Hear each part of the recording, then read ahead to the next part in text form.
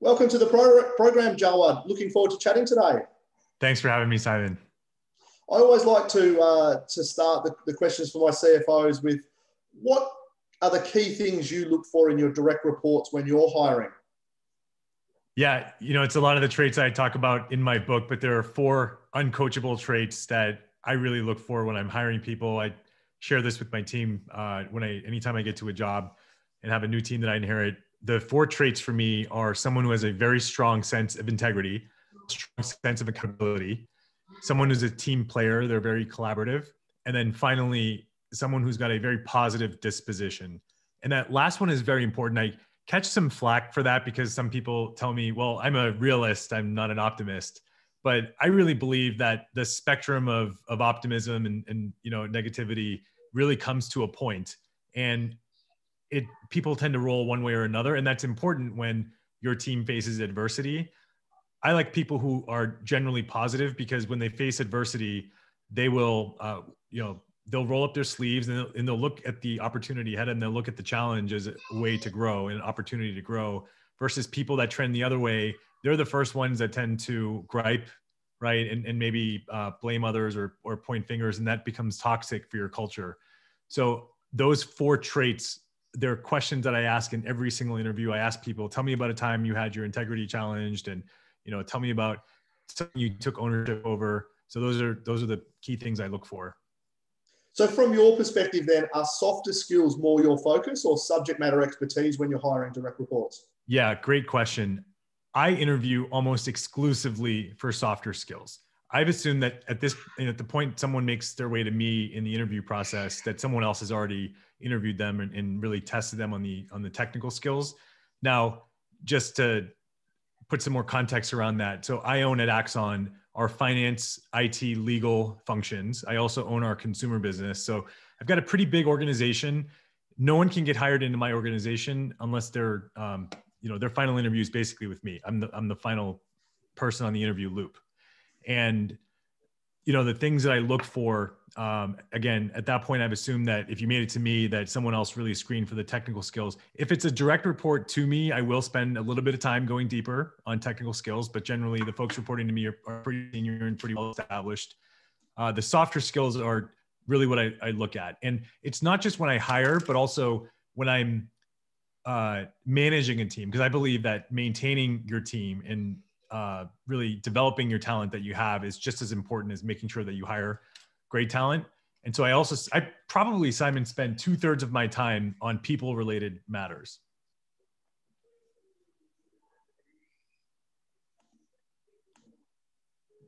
And what about for Treasury then, Jawad? Is, is that something that you look at differently or is, is it the same when you're hiring into Treasury as well? You know, for roles like treasury and tax those are ones where I, I do dig a little bit deeper because those are those are very those are fairly specialized skills. And they're uh, to me th- those professionals are uh, i'm fascinated by them because you not only need to have that technical skill set it's a very it's a, you know those are both challenging. Treasury tax some of these more uh, technical roles are are challenging. But then i also look for someone who's a team player and who also has all these softer skills. And those folks tend to be pretty exceptional when they've got obviously the intellectual horsepower to be able to have mastery over something like treasury, as complicated as treasury, but then they also have the ability to be a team player and fit in. And I've learned this the hard way. Like, you know, we um, in the past have had folks in treasury that had the technical chops, but weren't necessarily team players or weren't really good at communicating. And it was really difficult to drive alignment there, especially with the broader objectives of the company. Axon doesn't have any debt, and uh, our company pretty much bootstrapped its way to growth. Our founder and um, and CEO, you know, he founded the company, and he's still here as the CEO of the company. And he never took any debt. He took a loan from his parents when he first started the company, and since then has not taken any debt. It's been a pride for him. And uh, I also personally have a bit of an aversion to it. I came from a private equity uh, role and those situations are very highly leveraged. And just you know that overhang of the debt and all the acquisitions you do and just you know adding more debt to it it, it can be a bit restrictive in a way. And it's very freeing. It's been very freeing for me being at axon uh, having very strong cash flow and not having to worry about you know the debt overhang. And so that also changes some of our approach from a treasury standpoint in like in in how we want to invest our capital and when you can't reach alignment with your treasurer um, you know that that's a bit of a challenge. And so we've got someone now in the role who's fantastic very much a team player. Um, and so you know that's that's i'd say what's a little, a little different about treasury to answer your question simon is that you've got to have someone that has both the technical chops but also has the rest of those skills that i look for. And, and I think that's one of the things that comes up a lot talking to treasurers is the fact that that, that business partnering and working with the business um, is such a fundamental part of treasury nowadays. And I, I, totally agree with you. I think if you're not getting that, there's not much point having a, a treasury folk. That's exactly right. Yeah, to give you an example, the previous treasurer we had, you know, would periodically float uh, various debt instruments or you know just different ideas around how we could raise additional capital without really understanding why we, we needed it or why now is a good time to do it it was it seemed like they were more interested um, in in solving a problem or answering a question that no one asked. And our current treasurer really understands well i, I know the, the overall uh, growth of the company like where we're headed what markets we want to grow in. And you know he plugs in with our m&a pipeline. He knows where we're making investments potentially, or if there are acquisition targets in the pipeline.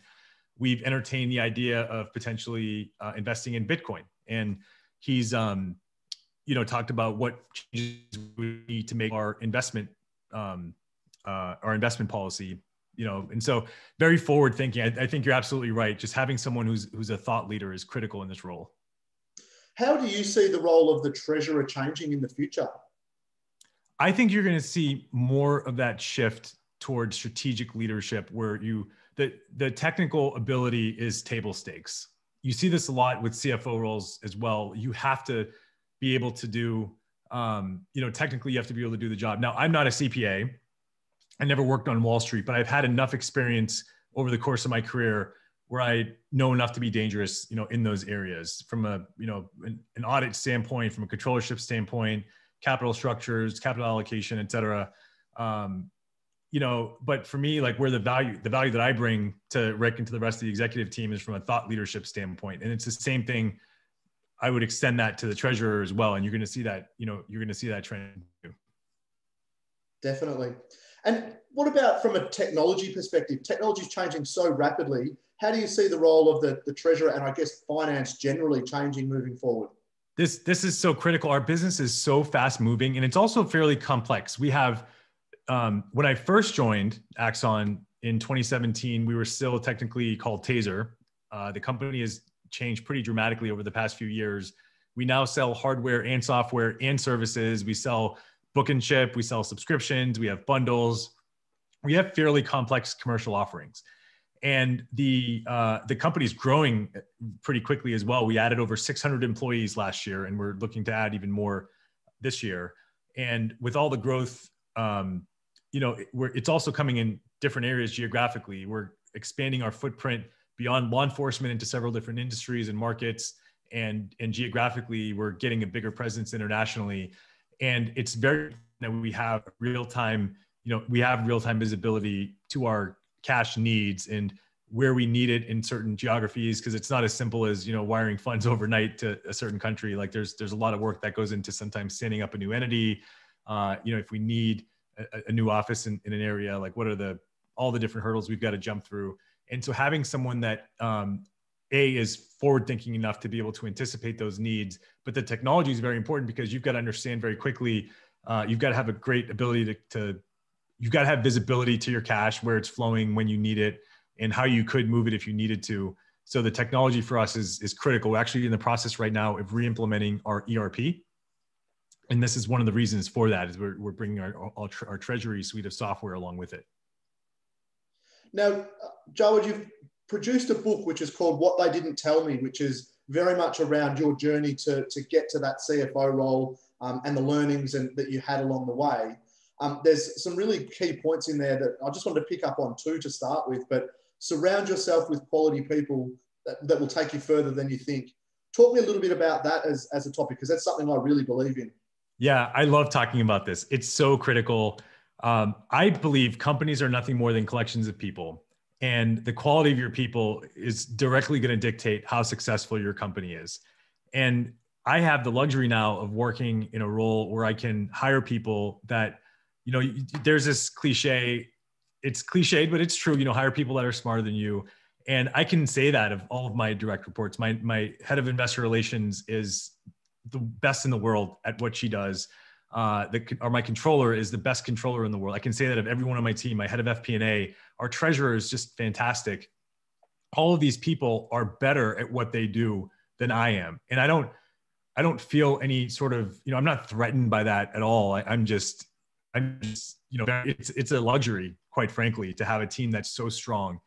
Uh, and it's something that I look for. I, you know, I've, I've told my direct reports, if you guys ever get the opportunity to go be a CFO somewhere, you should entertain it, right? I hope you never leave. I, I think you're great at what you do and you make my job easier, but I also want what's best for you and, you know, for your careers. And I know it'd be pretty fantastic for yourselves and for your families if you were offered a CFO opportunity somewhere. And so I've told them like, if you get that opportunity, let's talk about it. You don't have to interview behind my back or any of that. Like, you know, I'd like to support you in that.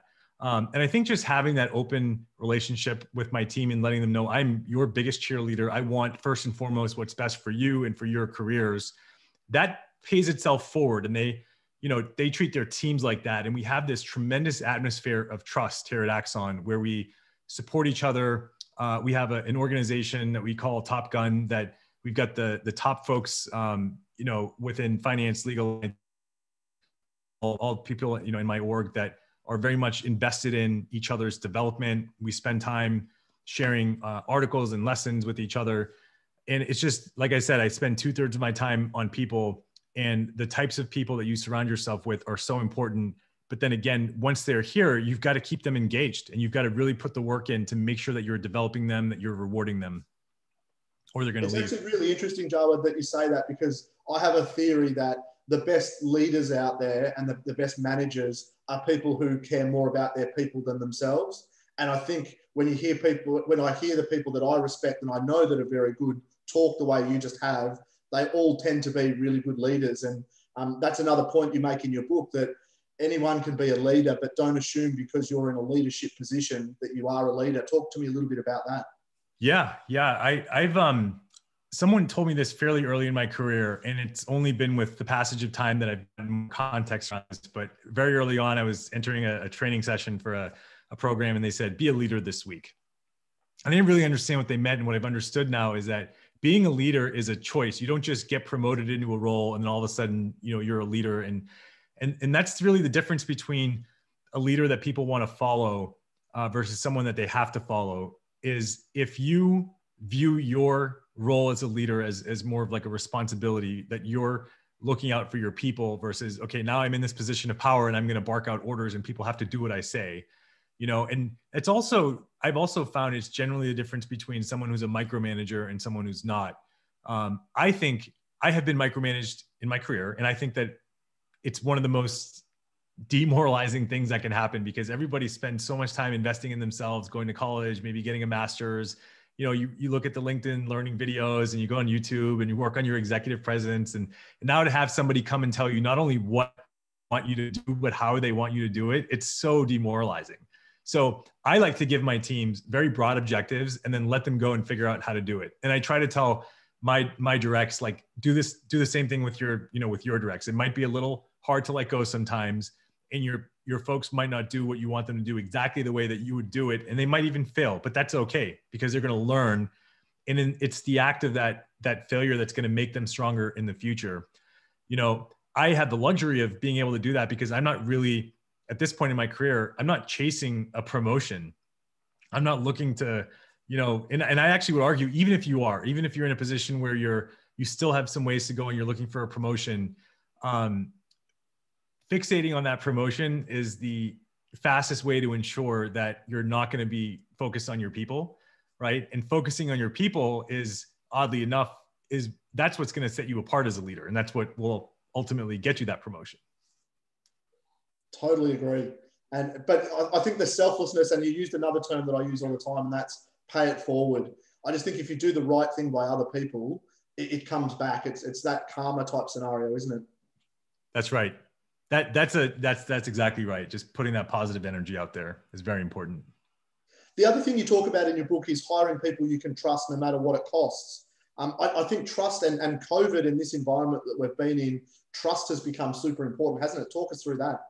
Sure. You know, I talked earlier about those uncoachable traits, and really collectively, those four traits are a heuristic that I use for trust. I know if someone has if someone has a strong sense of integrity and accountability, if they're a collaborative person and if they're a positive person, then then I can trust them.